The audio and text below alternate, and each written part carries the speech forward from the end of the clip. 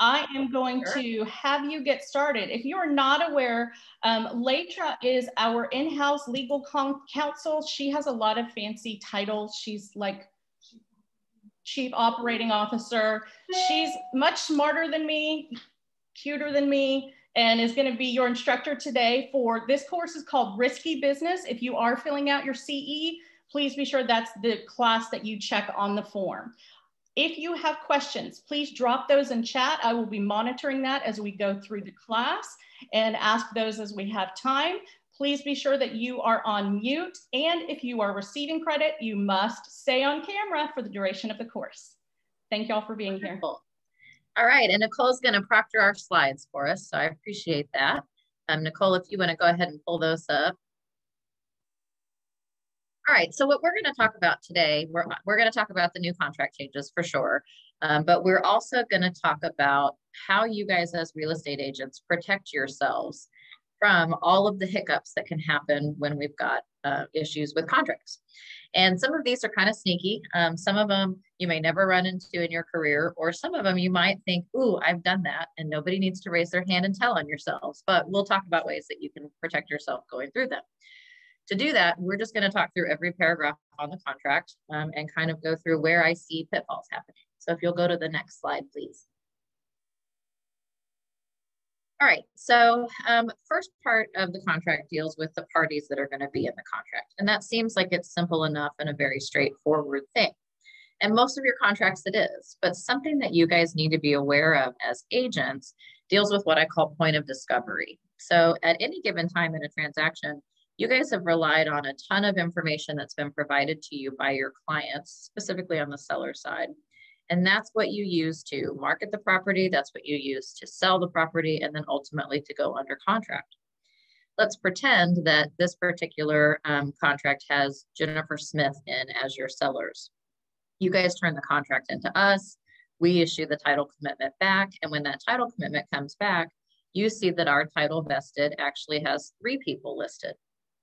So that's what is what I refer to as point of discovery. That's the first opportunity that you have to find out based on the information you've relied on from your client thus far that there might be an issue. If your title vested doesn't match the sellers on your contract, you've got people in title that aren't on your contract, which actually that means you don't have a valid mining contract anymore because you haven't had all the parties that own the property execute that contract. Ways where this can come up it can happen when there's been a divorce in the chain of title. It can happen when there are deceased people in the chain of title. If your client's ever filed for bankruptcy, they may not be the group that's allowed to, to sell the property anymore. And up until this point, you've had no warning really. You know, you guys aren't title experts. You're not expected to go down to the county and research who owns the property. You rely on a lot of um, information from your client and the representations that they make and so at this point, you're surprised. Um, what tends to happen, and this is where I see agents get themselves in trouble, is you guys will call us on the title company side and we'll say, oh yeah, somebody died in the chain of title. We need to do affidavits of heirship. And you go, okay, sounds good. Hang up and go on about your transaction. Um, what has to happen or what should happen on your side as the agent is to turn around and do some disclosure and some conversation with the other side of the transaction because A, technically you don't have a contract at all. And B, even if we're working on those files as diligently as we possibly can, we're not in control of that situation. And in many cases, your sellers will say, it's not a problem. Everybody's going to come to closing. We'll handle all the paperwork that needs to happen. And then fast forward to the day of closing. Now, all of a sudden, we have a problem. So if you think about what potentially happens to the other side's damages in this contract phase. So at the point of discovery, when that commitment first comes out, the damages to a buyer who now is not going to close are pretty minimal. They probably haven't even spent money on appraisal or survey or inspections or anything like that because you're three to five days into the contract. Fast forward to this situation happening at closing now, you're 21 days into the contract. You're going to have a buyer who's spent money on all those things. You're going to have a buyer whose rate lock is probably expiring today. And you're going to have a buyer who's homeless over the weekend because now they don't have anywhere to go because the deal's blown up. Obviously, the damages have increased significantly then to that purchaser. And of course, when when buyers and sellers end up getting crosswise, who do they blame? They blame you guys and they blame us. so as an agent, when you have a situation where first you recognize that you no longer have a valid contract, you do need to have some conversation with the other side. Now, I don't think you run screaming to the other side. We don't have a contract because definitely in today's market, they're going to love the next house they saw. but I do think it's incumbent upon you guys to say to the other side, hey, I've recognized we've got three other people in title. I've sent out an amendment for them to sign joining the contract. That protects you guys as agents because you've identified a situation, you've notified the parties, and then if you know everything continues and then it blows up, you're protected. So the answer to the question I just saw pop up in chat is, should you be checking the names on the title commitment when it comes back? And the answer is absolutely. That's the first chance that you guys are gonna have to know if there is a problem in the chain of title based on what you thought when you brought us the contract versus where we really are once we get down the, the, line of closing.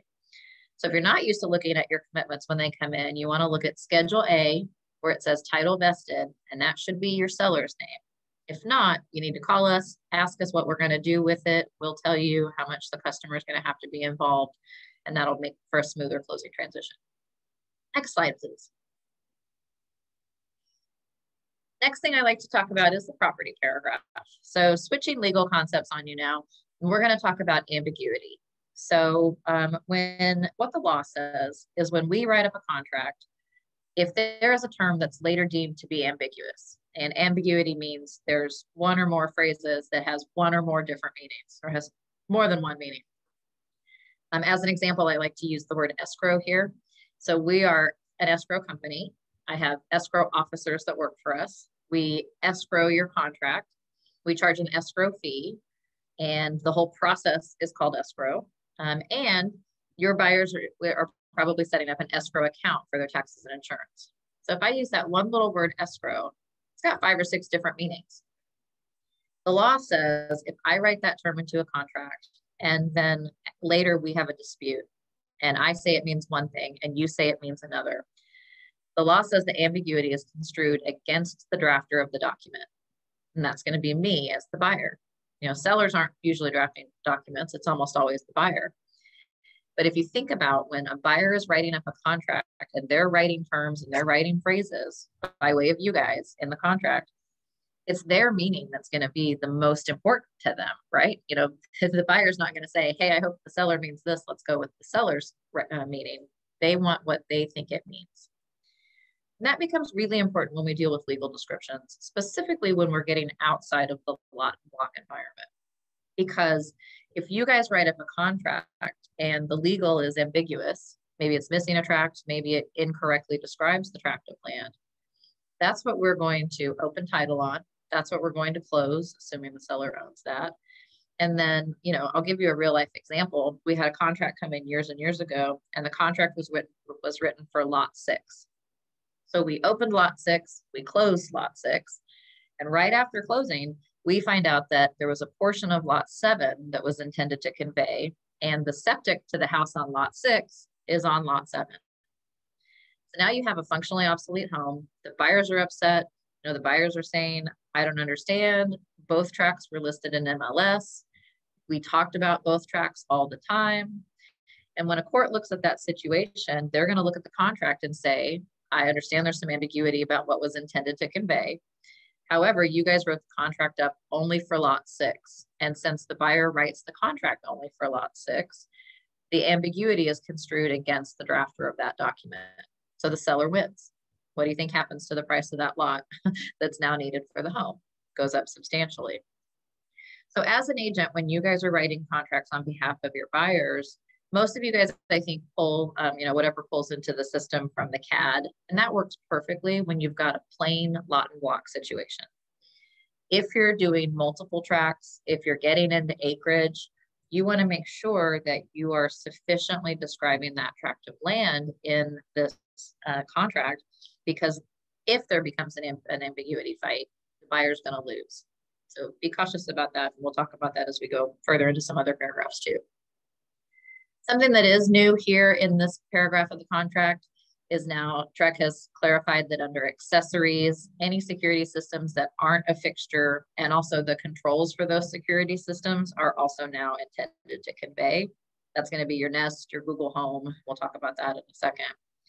Another spot for y'all to be careful with with ambiguity is section D. So section A through C says this is everything that's going to convey with the property. Section D says accept these items.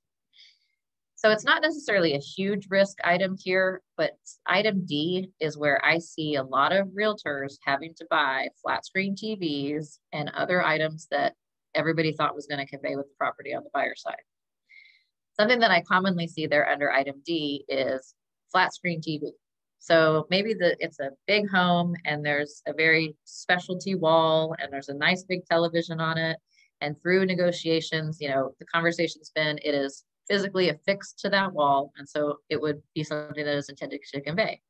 You do the walkthrough, that piece is gone now, and the buyers are upset. Um, think about ambiguity when you're writing things in this paragraph that are going to be retained by the seller. Because when buyers are looking at homes, they don't know what a fixture is. You know, they rely on you guys to fill in that information. If there is something very specific that they're in love with that they think is going to stay, you need to describe it here with specificity. Flat screen TV, TV doesn't do it. You know, the brand of the television, the room that it's in, something where if 10 people are looking at that description, all 10 are going to have the same information versus 10 people thinking something different. Um, next slide, please. All right, so let's talk about what is a security system that's not a fixture because fixtures are obviously things that are nailed down to the house, screwed into the wall.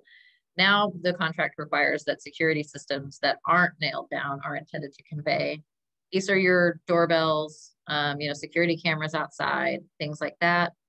Reason this is in the contract now is because you don't have to have it in the non-realty addendum now. So it's important to know that your seller shouldn't be taking that doorbell with them and, and moving on. Next slide, please. All right, shifting topics again and giving you a different legal theory. So um, sales price seems pretty straightforward. You write in your sales price, you write in your loan amount if you're gonna have one. Um, if you intend to have a third party financing addendum attached to your contract, it's critically important that you check the box here or in paragraph 22. Um, your contract is a standalone document, so it's only 11 pages and the addendums aren't legally attached to the document unless you check one of the boxes in the contract that pulls it in. It's called incorporation by reference. So even if you have the contract fully executed, you had a third party financing addendum fully executed, but you didn't check that box in either paragraph. When that comes into the title company, we might receipt it, we might send the whole thing out. And now let's fast forward to where your buyer wants to terminate. And the only option they have to terminate under is now third party financing. Every other contingency has, has gone away because of timing. If that little box is checked, even if everybody has signed all of the addendums, if the box is left unchecked, excuse me, legally speaking, your contract is in your right hand, all the addendums are in your left hand, and your left hand just open the car window and let go because those don't exist anymore. So you have to think about the contract as being one document, and the only way to pull everything in is to check the boxes to bring it in. Next slide, please. Latra, we had a couple quick questions. Um, is, is it legally accurate to enter hard money or bridge loans as cash or show as financed but don't check a box? Yeah, so that that always brings up a good debate that we have. Um, so the reason that you show how much money is going to be in the loan amount or in the sales price is to indicate what your intent is for financing. Intent in that situation doesn't necessarily matter unless you're in a multiple offer situation like we are right now, because that's not a binding term if you don't check the uh, third party financing addendum.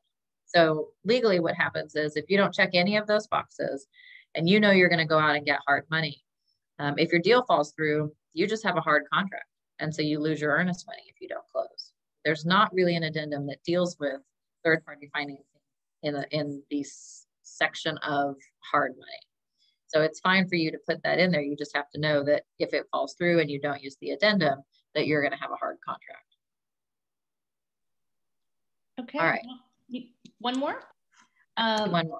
Why don't fridges convey? Since they have a water line that is attached to the wall, is that not considered um, something that exists and stays with the property? Yeah, you know, the, the water line is a fixture because it's actually attached, but the way that the fridge connects to that water line is still just, you know, an unscrewing type situation. So it's not, when you think about fixtures, you need to think about something where if you remove it, there's potential damage to the property, even if that damage is minor, you know, it's paint or it's um, holes in the sheetrock kind of stuff. The fridge is just an, an unconnection, unconnecting it there. Thank All right, and then I've got one from Kim that says, if a buyer wants to potentially change the amount down from what is written in the contract, do they need to have an amendment? Lenders have told me no. I disclose it to the sellers and have written it in special provisions that the buyer may change financing terms. Good question. Um, really, we don't we don't require an amendment. Lenders don't require an amendment the key is that the parties show up at closing on time with the amount of money that they intended to for the seller. So, and this is happening kind of regularly now. We'll have people say there's a third party financing addendum. They'll show a loan amount in paragraph three. They change their mind during the transaction and they end up paying cash. That doesn't have a negative effect on the legality of that contract. All right, um, let's talk about another new paragraph for your contract, which is leases. So some of the content's not new. Your contracts have always said seller's not aware of any leases and he's not allowed to sign any prior to closing. Um, but that didn't fit your situation if you were selling a piece of property that in fact had tenants in it. So now the contract has been changed to say, except as disclosed below, seller doesn't know of any leases and they won't execute any prior to closing. They've now given you three options for three different types of leases, residential, fixture, and then also natural resources. So if you're selling a piece of property that has tenants in it, you have to now look at it. And when you're writing an offer on the buyer side, you guys need to do the research to find out if the tenants, if there is a lease on the property or not. We're not talking about seller and buyer lease backs here. We're only talking about an actual lease on the property. So if you'll take me to that next slide, please. All right, so if you check box A to say there is a residential lease on the property, then now you have a new addendum that you need to use for the addendum regarding residential leases. So this one has two options. Either the leases are going to be terminated at the time of closing.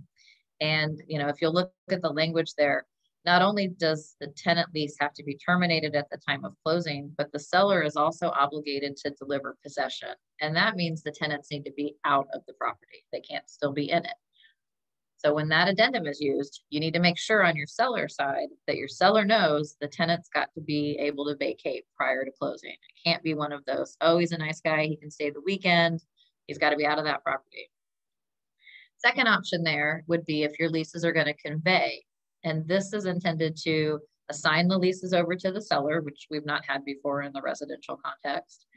It's also intended to require a copy of the leases be given to the buyer, which is important. Um, it also says we're going to pass through security deposits. And an issue I can see coming up there is some lenders are not going to want us to pass those through. The contract requires we do so. And then you have a landlord estoppel. Estoppel basically means the landlord is saying that all of the items in that paragraph are correct um, and factual. So um, I see a question pop up that says, does this addendum legally cancel a TREC or a TAR lease? No. So these are independent contracts. You have a contract with your tenant under the lease, and you have a contract with your purchaser under the TREC form. So where it says all residential leases must be terminated by closing, that's going to be a nuanced thing that the seller needs to make sure that he's looking at the lease to find out, does it really terminate beforehand? Because if it doesn't terminate beforehand, if you can't get the tenants out of the property before closing, the seller is now going to be breaching the contract. So when you're selling on the listing side um, a residential piece of property that has tenants in it, I think it's advisable for you to go ahead and make sure that your owner knows where the leases are, have them give you guys a copy so you can check it, make sure that they really are going to be out of the property at a certain date. Um, right now, you rely on your sellers. You know, if you've got a tenant in a property, you say lease ends March 15th. They're probably not giving you that documentation. They're just telling you. And so before you make that representation, you know, you want to look at it. Next slide, please. The next type of lease that we um, have in there is the lease for fixtures. So let's first talk about what a fixture is. Um, a fixture is going to be, think of it in your brain as an aftermarket add-on to the house. so it's something where we've added a solar panel, we've added propane tanks, water softener, security system. Um, I'm actually really excited that we added this to the contract because we've had a ton of closings fall apart on the day of closing because there's a fixture on the property that nobody knew about up until now. Reason that comes up is let's say that your client's gone out and had a solar panel company install a roof full of solar panels. Typically, they get a loan to do that. Most of them aren't paying cash, but they get a loan to do that. And they have a separate set of debt that's tied to just those solar panels. And because those solar panels are what's defined by the law as a removable item, technically, if that lien holder was not paid in full, they have the right to go out to the property, take their materials back, and try to recoup whatever money they could if they're not getting paid. This is also one of those liens that survives foreclosure. So even if you're selling a foreclosure property, if there is a lien holder out there um, that is owed money, they have the right to go back and take it off the the the, uh, the roof as well. Same thing with water softeners and security systems because people install these in their homes and they live with it for a long time and they don't even think about it, it's not one of those items that they're telling us prior to closing.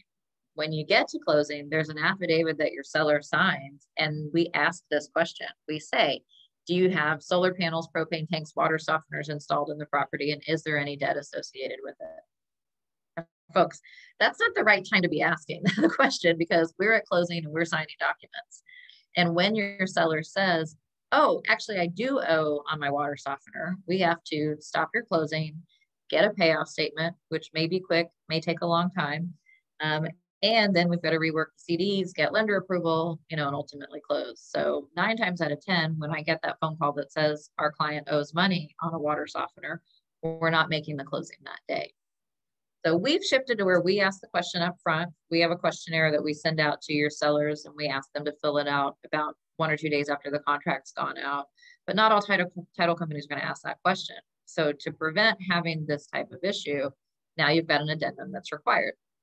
So when you're working through your listing presentations, you want to make sure that you're asking your client if they've got solar panels, propane tanks, water softeners, security systems. I'd put it in the listing if you do, if you find out they have it, because that way you know the addendum is required. Um, also, the addendum talks about is the buyer going to assume the, the items or not? It also says that a copy of the fixture leases has to be given to the purchaser. Once they're given to the purchaser under B2 there, there's another contingency that the buyer could terminate within seven days after receiving that. So there's one more contingency that's been added to your contract. And then the last item requires that the liens be paid in full at closing or assumable by the buyer. So when we're working up your files and we've got solar panels or water softeners in there, lately we've started getting more notices where people say there is a security system and it is still, money is still owed on it and it's going to be assumable by the buyer. That part is all good for us. Um, the one thing that we have to make sure of is if that fixture lien holder has filed what's called a UCC in the real property records, that's how they evidence their lien. They have to be willing to subordinate to the new mortgage company that's coming in with your buyer. If they're not willing to subordinate, and we've run into this quite a bit lately, then that lien has to be paid in full. So it's one of those things where buyer and seller talk prior to going under contract, and the buyer says, you know, how much do you owe? The seller tells them. Buyer says, fine, I'll assume it. And that's great. And that's what the parties have agreed upon, but the lien holder is not willing to give that subordination. So that's something that now we'll know up front and we can start asking all the right questions before we get there. I've seen a couple pop-ups. Let me look at the note. You got them or you want me to read you? I think I got them here. All right. All right. Um, what is the proper way to draw up a lease back when we'll have an option to extend after the term listed in the agreement? Um, we'll come back to that one. Chris, I'll write down your name and we'll get to some All right. Um, explain if the third party is checked on paragraph 22, but not paragraph one, then you could still terminate with financing. Yes. So all of your addendums to be incorporated by reference everyone except the third party financing, you check in paragraph 22. Third party financing is the one where you have an option to do um, paragraph three or paragraph 22.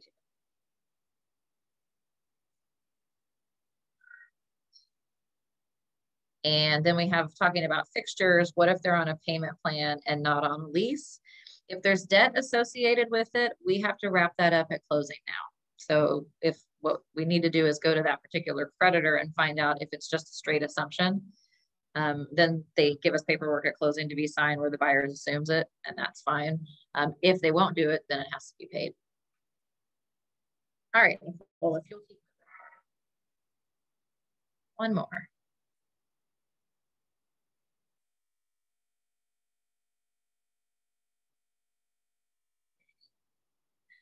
While Nicole's moving um, that, I do want to just briefly mention about the third lease that's in that lease paragraph deals with natural resource leases. Um, what that paragraph says is that if your seller has negotiated any mineral leases during their ownership period, they have to make the disclosure. There was some concern that that meant that the sellers were going to have to go all the way back in the chain and find all the mineral leases, and that's not what that says. Just ones where they were a party to it. All right, so let's talk about the big change in the contract. So the big change for you guys deals with earnest money, option money, and where options going to be found in the contract now. So personally, I'm super excited about this change. I think it saves you guys a lot of time. It also helps our folks out quite a bit. Um, starting with the new contracts, which are available for use now, mandatory as of April 1st. When you write a new contract, your client on the buyer side is now able to deliver earnest money and option money to the title company, and the title company is responsible for receiving that option money. So no longer do you have to educate your client about writing two different checks um, to two different people in two different amounts. um, your clients can now use the ZOCCAM app to deposit all of the money with us electronically, which is great. Um, we're not in the position anymore of having to handle that $100 or lately $5,000 option check and get it over and delivered to the seller. And that's a good failsafe for you guys because the way that the contracts operated before, and I would start using the contract today if, if I were a real estate agent, the old contract placed a ton of liability on you guys as the agent to deliver that option money properly. And in fact, if the option money was delivered to title or not delivered to the seller on time, your client had a hard contract.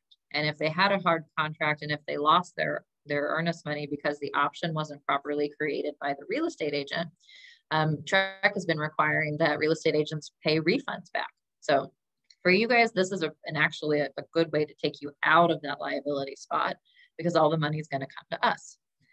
Let's see one question pop up there. Um, okay, well, I see yes, which I'm super excited about. Thank you. Um, if you handle it to the title company um, okay, so the question is if you're using the old contract, will the title company still handle the option money? If you're using the old contract for the rest of this month, when the option money comes to us, we'll still handle it and deliver it to the seller. Starting April 1st, it's mandatory that you use the new contract. So then you would have your client write both checks to us, which is what we're, we're excited about. Um, I lost my slide there. There. All right. Um, so let's talk about what happens practically with the money. So your client is going to write, I would say write one check. There is no reason for them to write two checks anymore. One check, make it payable to Texas National Title and make it payable for the dollar amount of the earnest money and also the dollar amount of the option money. So make sure that they're just doing one check or one ZOC. You deliver the contract to us, money's delivered to us, will now be responsible for receiving the earnest money and the option money, which is great for us.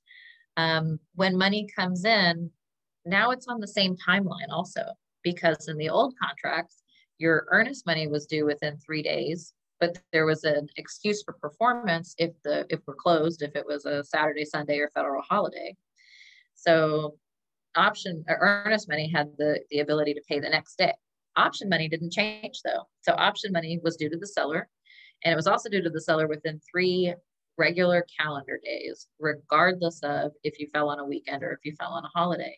And that's a ton of scrambling around for you guys.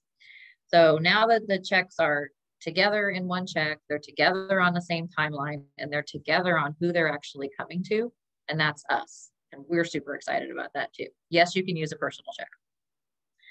Um, next thing in the in the contract gives you an option if you're going to have additional earnest money, which we're not seeing a ton of lately.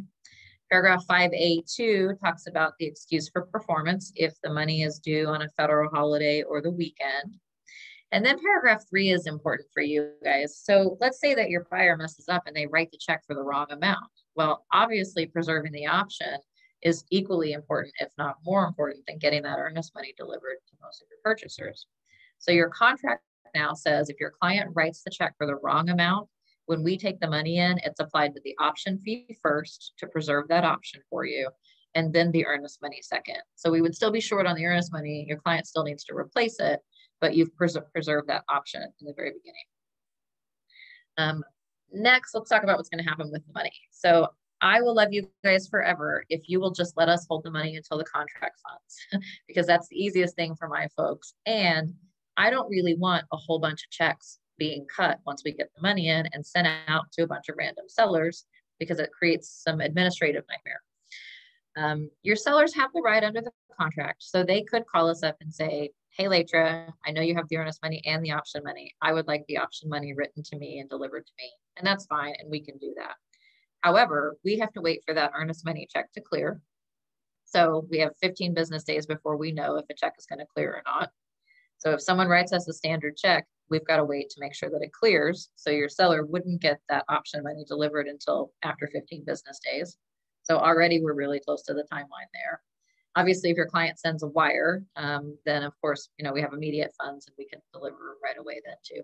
Wires or cashier's checks, yes. I had a couple more questions there. All right, what if buyer does not deposit enough for both the option and the earnest money? Okay, we just talked about that. Can the seller still legally terminate if the full earnest money is not received in the time frame? Yes, yeah, so we'll get there in a second. And can we do wires or cashier's checks? Yes. Okay.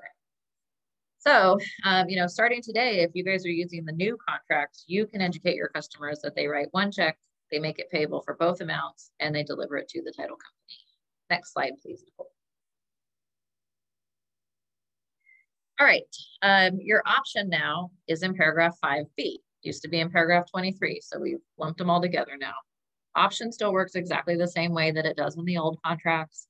Whatever date you guys write in there for how many days of option you have is going to be what your option period's for. Terminations have to be done by 5 p.m. local time where the property is located.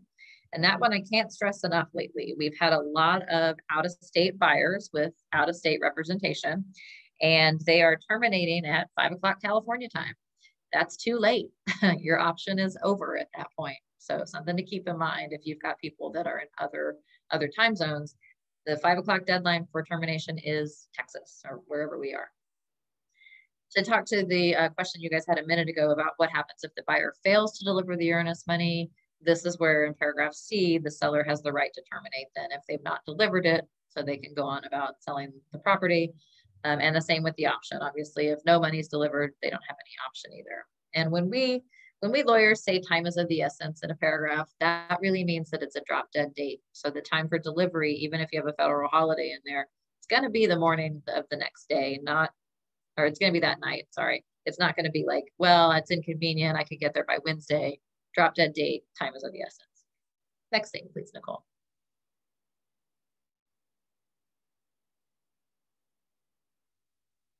All right, let's move away from earnest and option and talk a little bit more about protecting you guys from a legal standpoint. Um, I like to talk about shortages in area. We also call it area and boundary, and we call it survey deletion. And that comes from paragraph 6A of the contract. So I want you guys to all think about that time where you're standing in the front of a property and you're looking at the house and your seller said or your buyer says, is that my fence or is it the neighbor's?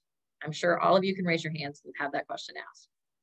The reason your clients are asking you that is because it's important to them where the boundary lines are of their property. And they want to make sure that you know they own up into a certain point. Something that I think you guys should all know about title insurance is that your standard title policy that's issued from closing offers zero protection for defense of the boundary lines. So think of think about that one. That means day one, your buyer moves in, they're in love with the house, neighbor knocks on the door and says, your fence is on my property. I need you to move your fence three feet into your lot. Your buyers are going to be upset. They're going to call the title company. We're going to tell them they don't have any insurance for that. So that's a terrible situation. And that creates a lot of liability for you guys as buyer's agents because, you know, they have so much faith and trust placed in you. You've got the fiduciary relationship. And more importantly, you guys are the ones filling out this contract. This little box right here, paragraph 6A8, is such a teeny tiny little piece of the transaction that it's not important to buyers and it's not important to sellers when you're negotiating stuff. Typically, and I'm sure all of y'all can, can agree, you guys are the ones making this selection. And so I want you to understand what you're declining or what you're selecting for your client. If you'll go to the next slide, Nicole. Okay, so here's what your title policy says when we're going to issue one. It says item number two on Schedule B that the title insurance policy doesn't cover any discrepancies with regard to the boundary line, doesn't cover a conflict with the neighbor, doesn't cover encroachment, which are things into our lot. It doesn't cover protrusions, which is stuff on our lot poking into the neighbors basically, if there's a fight about anything dealing with the boundary line of the property, it is not covered under insurance. When you guys check the box that says it will be amended, what you're doing from a legal standpoint is you're adding most of that coverage back into the title policy so that if your buyer has an issue, they have a way to be able to seek relief. They have a policy they can file a claim under. If it's an acceptable claim, we hire the lawyers to litigate it basically. The coverage is super cheap. It's 5% of the owner's title policy on a residential transaction. And, you know, on a $500,000 deal, that's about $150. So think about the liability as an agent. If you're checking the box to say that it is not going to be amended and you go through closing and now your client needs that coverage, they don't have it, they could have benefited from it and they could have just paid 150 bucks to hire it. Now, whatever the issue is, they're going to have to hire their own attorney. It's going to cost them $10,000. Whose fault is that going to be? Going to be the agent's fault. So I want you guys to think about that. If you're in the habit of marking the box that says it's not going to be amended, I would like for you to shift and check the box that says it is going to be amended because your client can still opt out of it. You know, if your client opts out of it, we say that they had informed consent and that's all on them. It's not a liability issue for you and it's not a liability issue for me. But if they don't get the option to explore that, then you've made the decision and that's when it's a dangerous situation. I saw a pop up that said, even if we have a new survey. And yes, I think it's important, even if you have a new survey, because surveyors, you know, in theory, if they make a mistake, they've got privity of contract. So they have a, a fiduciary responsibility to have accuracy for the buyer. But what's it going to cost your client to collect against the brand new surveyor? Or what's it cost your client to file a claim under the title policy? Cost them money if they're going to try to sue the surveyor costs them nothing to go through the, the title policy claim process. Later, can the buyer and the seller split that cost? Sure, absolutely. Your contract doesn't provide for it, so you'd have to write that in special provisions. Okay. But you can write, you know, seller and buyer to split area and boundary 50%. Yeah. And Pat says, who pays buyer or sellers? So in today's market, I'm seeing the buyers pay most of the time.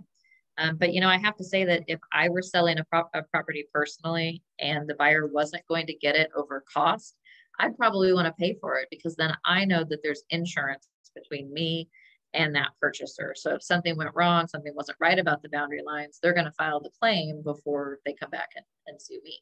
Can I have the next slide, please? So here's a real life example of how this works. Let's say that we've been asked to insure the tract on the right hand side and by the way, I know my drawings are amazing. Don't be jealous.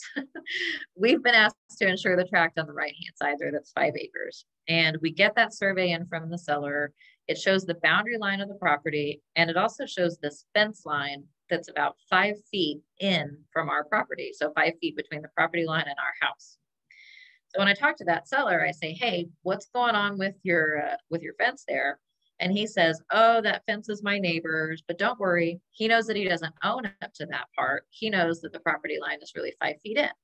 Well, that's cute, but I'm going to have to talk to the neighbor now and find out because obviously, when the neighbor comes back, he says, Nope, absolutely not. I own all the way up to that fence line.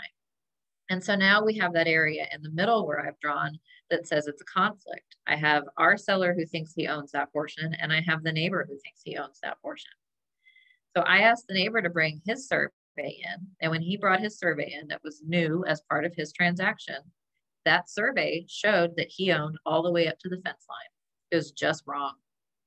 And the same surveyor had done both side by side tracks about five years apart. So now, of course, the seller on our tract did what I never advise, which is go out on Saturday and just rip up the whole fence line because that's going to make everybody upset too. But now those two neighbors are in a position where they're going to have to litigate, arbitrate, mediate something between each other to come to terms about who really is gaining or losing that tract. And if you think about five feet all the way down a five acre tract of land, that's a significant amount of value that somebody is looking to lose. If this is your customer and if this is found out post closing and they've gotten this insurance, they've got a policy they can go back against. If they don't have that insurance, they're reaching into their pocket every single time they talk to their lawyer. And this is an egregious case, but this is exactly why I think it's important for you guys to not be the decider on it. You tell them they're getting the coverage and then they can decline it is very different from you not giving saying they're not going to have the coverage. Next slide, please. This is a more common example. So where I've highlighted that yellow fence on the right-hand side of the property, you know, the fence is about five feet in that little corner off, and then it tapers up to where it's on the property line. Minor issue, um, but if as the buyer's agent, you've said that they're not going to have coverage for this ish item, then you're basically, you know, getting into your own checkbook if something goes sideways from it. So I always think you guys should check that box. Next slide, please. All right, I'm going to go kind of quick because I'm running out of time here. Um, first thing that's important for you guys to know on the paragraph about the commitment is that we have an obligation to deliver the title commitment and also all Schedule B documents. For us, we hyperlink all of those Schedule B docs so we can send them to the buyer. This is important for you guys as buyer's agents because this is where you shift your due diligence from you being the expert on what's contained in those documents to the buyer. By providing copies of all the stuff to the buyer, if down the road the buyer's upset because now they can't add a secondary dwelling on the property or they can't paint their front porch blue or do any of the things they might want to do with the property, we and you have given them disclosure of what the limitations are on that property. We're running into a lot of issues right now where we will have somebody buy a residential piece of land that has one property on it. They want to put an ADU or a mother-in-law home or you know something so that they can now sell it into two different units. They've gone so far as to finish their plans and build that second unit and now they've brought the contract back to us trying to sell it and when we go back and we look at the restrictions, we see that the restrictions prohibit anything other than single family. They prohibit this new dwelling that's been added. So obviously that buyer is upset and that buyer is going to come back to us and they're going to come back to you guys and say, well, somebody should have told me I couldn't add a second unit. And we're going to say, we actually did. We gave you a copy of the commitment and we gave you the document copy that prohibits that. And as an agent, that's a really powerful thing because it takes that liability off of you guys. Um, I just saw a question. Okay. Oh, yeah. All right, um, something about surveys. So obviously we're getting some really tight timelines written in for surveys now. We have a fair amount of debate about is the survey required with the T47 to satisfy this provision in the contract? And it is we typically get surveys in, no problem. And then it's inconvenient for the sellers to come in and sign a T47. And so they say, oh, I'll sign it at closing. Oh, I'll email it in a couple of days. You guys need to know when you're representing sellers that if your seller doesn't deliver the survey and the T47 within the timeline that's written in there, they can have a new survey purchased at their expense um, when the buyer wants it. So what happens is people read that last paragraph that says if the survey is not acceptable, who pays for it? And that's a wholly separate issue. That third sentence there is what happens if title doesn't take the survey? What happens if the lender doesn't take it? You got to get through that first hurdle, which is did was it provided with the T47? Next slide, please. All right. Uh, your paragraph eight has changed a little bit. Just this is now where you put your disclosure if you're representing somebody where you need to disclose your licensee status also with a relationship with the principal. And then broker's fees, of course, are contained in separate written agreements. A, a note for you guys about the broker's fees and commissions. Our group is always going to assume that the commission is 3% on both sides. If you're changing the structure, if you've agreed to some other terms, if you'll please let us know up front. Um, we hate to send out a, a, draft CD and it's got the wrong amount of commissions on it because then your clients get upset. So if you're charging something different, let us know up front, please. Um, when we talk about paragraph nine, I always like to point this out. We get a lot of sellers, especially investor sellers, that say probably the day before closing, oh, I'm only going to sign a special warranty deed. And I think it's important for them to know that contractually they've agreed to sign a general warranty deed. So it's great for them to tell us last minute that they want to sign something different, but they've already obligated themselves to sign a general. So for those of you that do commercial or do farm and ranch, you know in that contract there's an option for a general warranty deed or a special warranty deed. And residential, that's just not an option. So your parties would have to go outside of the contract before getting to the contract phase to negotiate that. Next slide, please.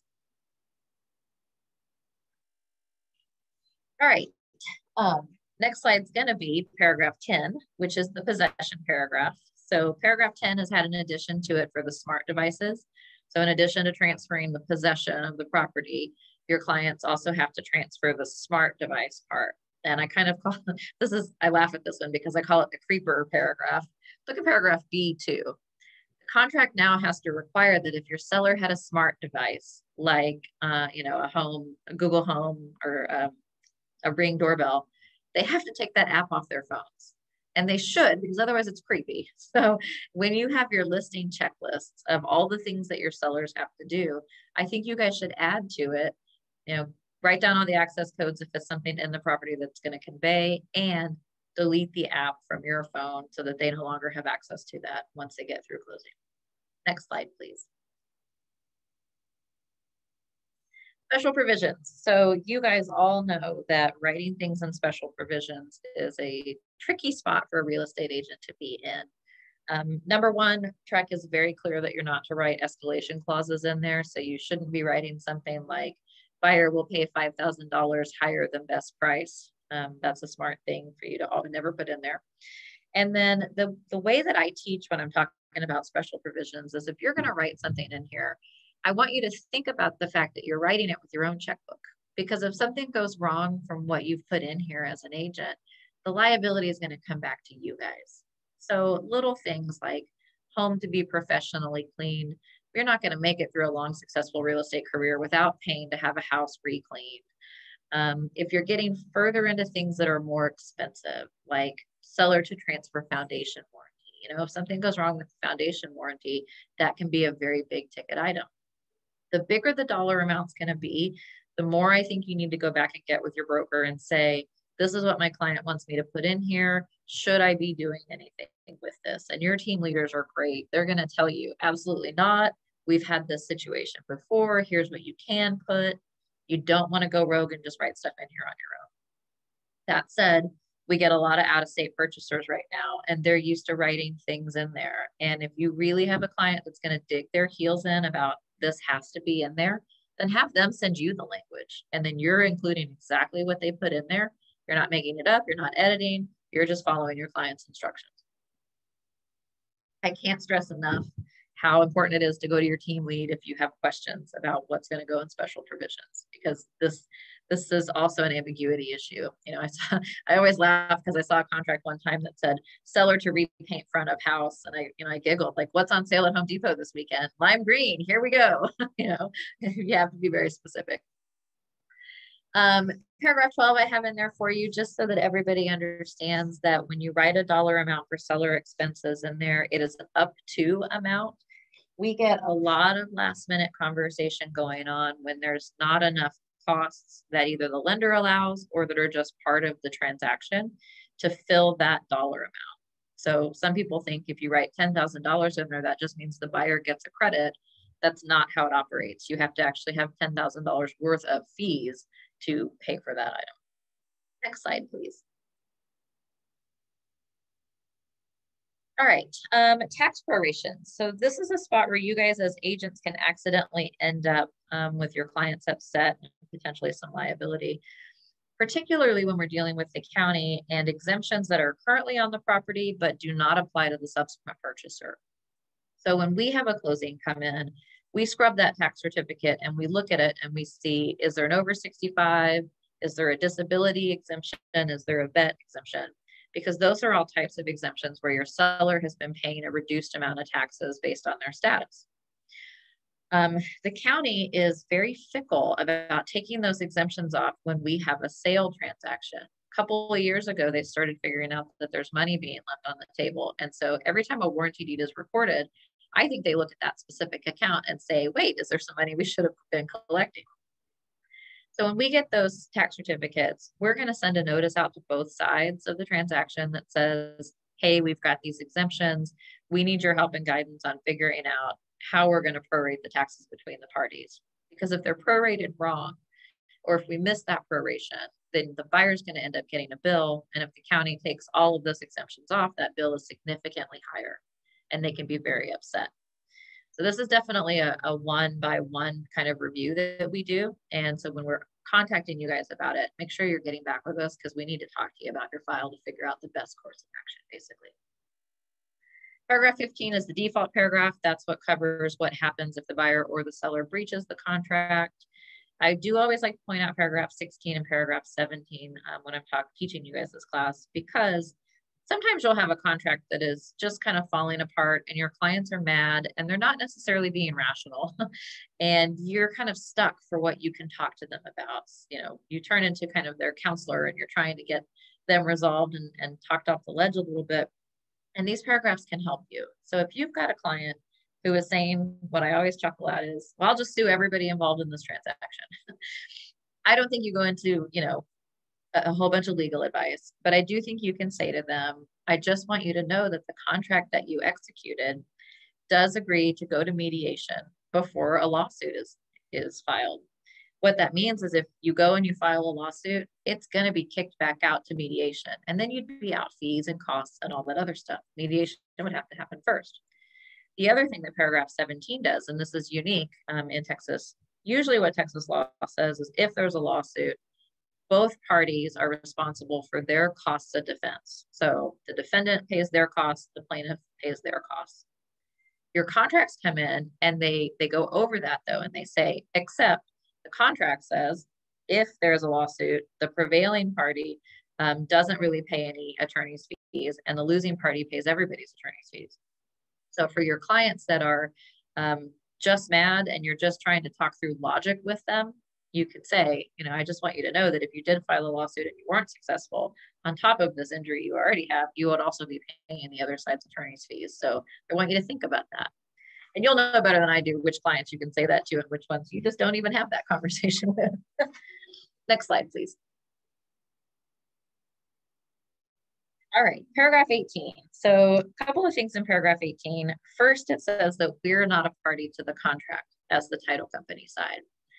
And that's important to us because we're constantly put in the position of clients asking us to make decisions of who's wrong or right, who breached this contract, are they in default? And we're just not really able to speak to any of that because we're actually required to be a neutral, objective third party. Paragraph A did have a sentence added that says we can require if we're going to disperse any funds that we make sure we have good funds first. So that speaks back to release of the option money. We've got to make sure that that money is cleared our bank before we can release it. That's why it's not released just the day that we get it. Because surprise, surprise, people do write us hot checks more than you would imagine. The other thing that I want you guys to know about this paragraph, and this is super helpful for you to be the hero sometimes. Let's say you have a transaction that is terminated and we've sent the notice of termination and the release of earnest money out to all parties, and we're just not hearing anything. It's just crickets. Your client's the buyer and your client's getting upset because they feel like they should get the earnest money back and we've not been able to release it. Something you can do as a buyer's agent is you can have your client send us a demand and the demand can be super simple. It can say, Dear Latra, on this property, I demand my earnest money.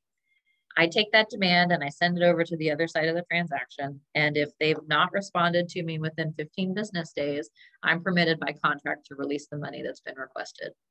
So it, it's not an often used thing, but it's very important for you guys to know if your client's getting frustrated and you know, we didn't have what we needed to be able to release the earnest money and there's no response, this is a way you can jump in and help. Here's the kicker though, and now you're going to get a little bit of Latra soapbox. Um, where do I have to send my notices?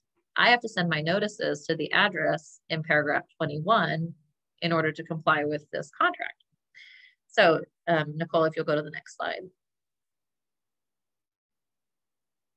So paragraph 21 is what controls all of the notice that we have to send. So if you're asking me to honor a paragraph 18C demand, I have to be able to send it somewhere.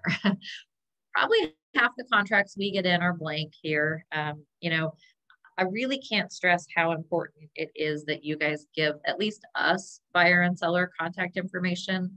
One of the things that we do um, is we send, we call every buyer and every seller and talk to them about wire fraud. We talk to them about all of the possible things that they might see and what they need to be diligent about watching out for. We then send them a follow up email. We have similar conversations with your sellers, and those phone calls over the these past few years for us have been irreplaceable for the amount of money that we've saved buyers from just losing to fraudsters. I've got an example this morning where somebody sent one wire, went to fraudulent wiring instructions. They were going to send a second wire to the bank and the bank called and questioned it. That's a big liability piece for you guys. If you're not already in the in the habit of having wire fraud conversations with your buyers and your sellers, you need to start doing it because the liability for somebody losing their money because they sent it to a fraudster is huge. It's huge for you guys and it's huge for us. So every time you turn a contract in, if you'll fill in this information for me, or at least give this information to our escrow teams, we're going to call and say to them, you know, at no point in the transaction are we going to email you wiring instructions. And if you get them, it's fraud. Years ago, we used to say, if you get them, it might be fraud. Right? Nope. If you get them, it's fraud because we're not sending them we have to make these people, our buyers and our sellers, aware of what more of what wire fraud looks like. And the only way we do that is through these conversations, which means I have to have their contact information in there. So that's my little soapbox. Let's move on, Nicole. All right, um, paragraph 19, representations. This is good for you guys, especially on the listing side. So on the listing side, you guys get a lot of information that comes from your sellers that you wish they hadn't told you about potential defects in the home.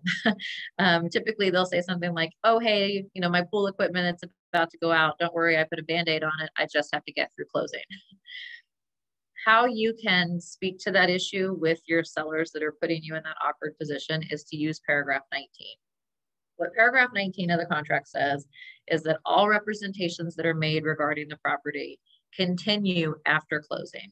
So it's not as simple as let's just get to closing and then whatever the defect issue is is the buyer's problem. It follows the seller and it can actually follow the seller for up to four years from the date that the issue was discovered.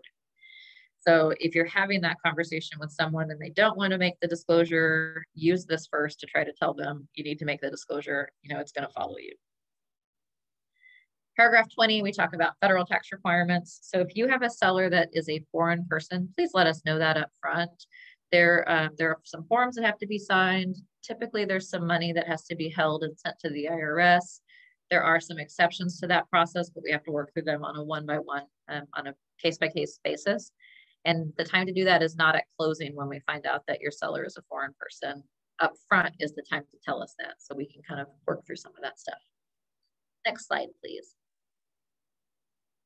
All right, we talked about paragraph 22. This is where you check the box to incorporate by reference any of the addendums that you're going to be using. Um, make sure that you're checking them, that they're also getting signed, that they're also getting attached. Next slide, please. Effective date. So here's Latra's mini soapbox number two. um, I can't tell you how many contracts we get where the effective date is blank. And I know it happens for a lot of different reasons. You know, when you're putting the offer together, you don't want to date it because it's not going to be accepted that day. Um, some people will say, oh, well, that's the last person who's signed it responsibility to fill it in. And so when the buyer's agent brings it in, it'll still be blank. But really, it's every real estate agent involved in that transaction's responsibility to get that date filled in. It's really hard to terminate under option or any of the date related contingencies if you don't have a date filled in there. So, um, and then next section is just where you guys put your fee sharing information now. It's uh, at the bottom of the contract. Next slide, please. New, new thing in the contract under the option fee receipt, you see that I've highlighted where the escrow agent is now responsible for um, receiving that option money. super helpful for you guys as listing agents. You don't have to run around and have it sent to you via DocuSign and print it, scan it. We're just going to take care of it for you. All right, next slide. Last thing I like to talk about is how the financing contingency actually works. Um, there's a lot of confusion about what third-party financing addendum does or does not do. So um, when I'm explaining this to buyers or to sellers, I say that the third-party financing addendum is basically just another contingency by which the buyer could cancel under the contract. There's a ton of confusion around it because when a buyer is out of any other options to cancel and they're canceling under third party financing, it's typically later in the transaction. And so then the stress is higher, you know. Um, sellers often will say, well, um, I demand a, um, a, a rejection letter from the lender, which is not an option that's provided for under the terms of the contract. Sellers will say, well, they haven't applied with my guy and my guy can definitely get them a loan not a requirement under the third party financing addendum. So all the third party financing addendum says is if the property is subject to approval, the buyer has X number of days to get approved. And if they can't get approval, they just have to terminate. There's no proof requirement with it. There's no multiple application requirements. It's just a pure notice function. And that's important for your sellers to understand.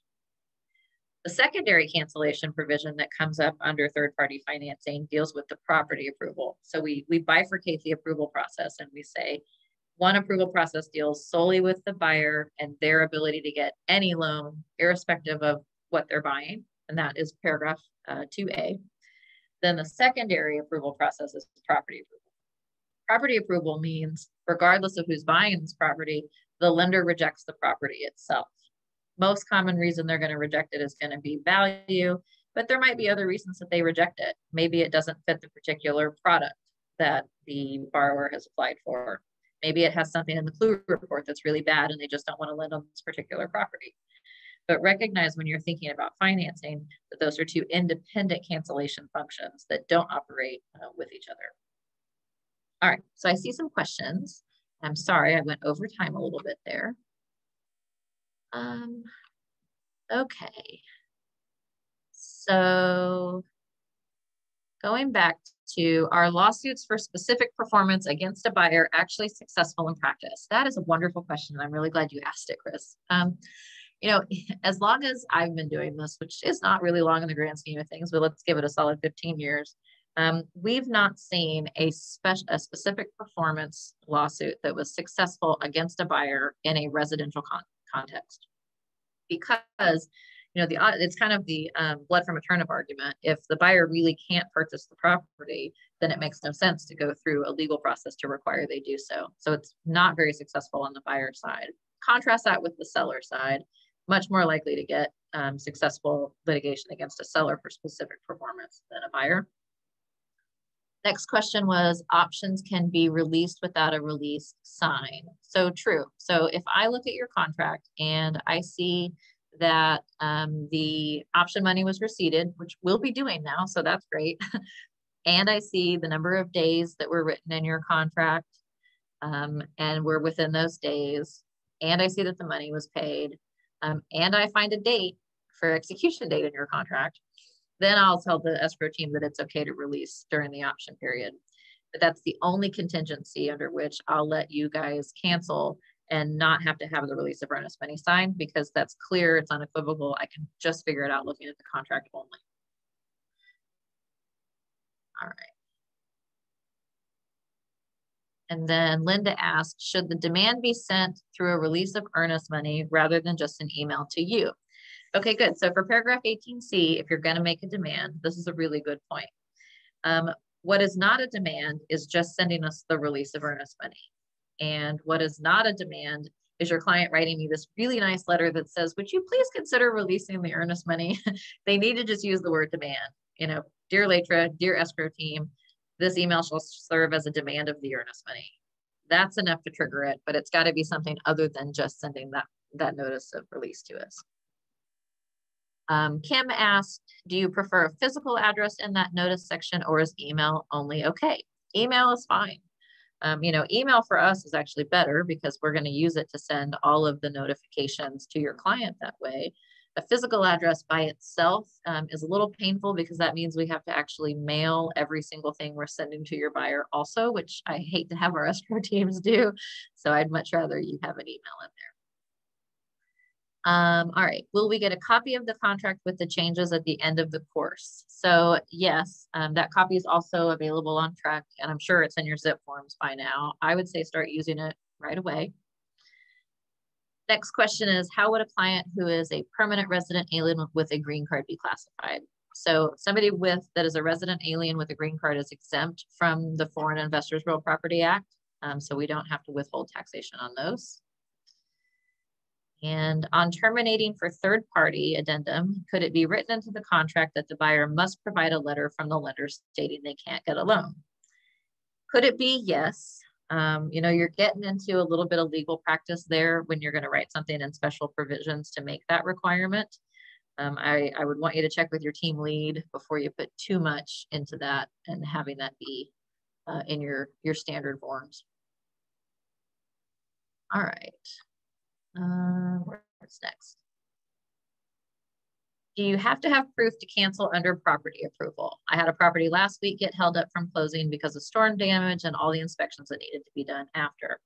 So property approval is just like the financing addendum for the borrower. It's a notice requirement. Um, the only time you would have to have proof of the property rejection part is going to be if you are using the right to terminate due to lender's appraisal and you've checked the third box that requires a copy of the appraisal be delivered. All right, um, if the appraisal hasn't come in, can the buyer terminate under the third party 2B because the seller does not want to extend closing to save earnest money? Uh, you know, that's again, it's one of those notice provisions. So and this is where I would never advise agents to, to participate in this, but we do get questions from people that say, I just want to use any contingency that I have left in the contract. Which one should I cancel under? People kind of abuse it sometimes because there's not a proof that's required part. And so as agents, I don't want you to participate in there, but from a legal perspective, we do see people use that unfortunately. And okay, so in practice, you have to have good funds before releasing option fees to sellers. Should we have buyers wire or send cashier's checks and not a personal check? Um, you know, it, it kind of depends on your seller in that transaction because if you if the listing agent or the seller is going to have us hold on to the funds until we close, which again is what I suggest you guys do, then it doesn't really matter how they send us the funds. Um, more so on the listing agent side, it would be important if you have a client who is going to want us to write the check to them for the option money that you convey that information to the buyer's agent in advance because otherwise your client's going to be frustrated that we're not able to release the funds yet. Okay, and then it looks like the forms aren't in zip forms yet. They're only on TREC's website. All right.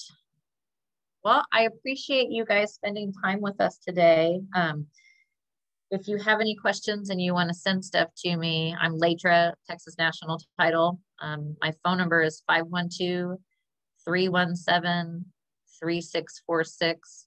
Our amazing sales rep team, they know where to find me. They can definitely send over any information.